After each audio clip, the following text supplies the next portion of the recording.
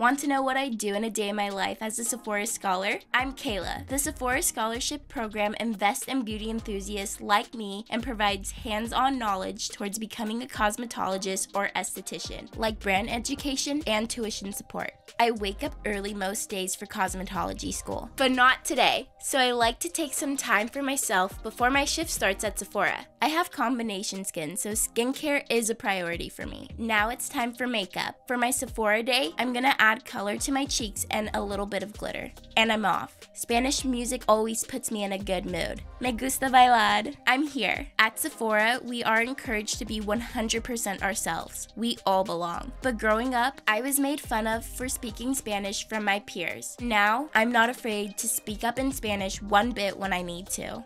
After work, I do a face mask and catch up on some videos online before heading to bed. Good night!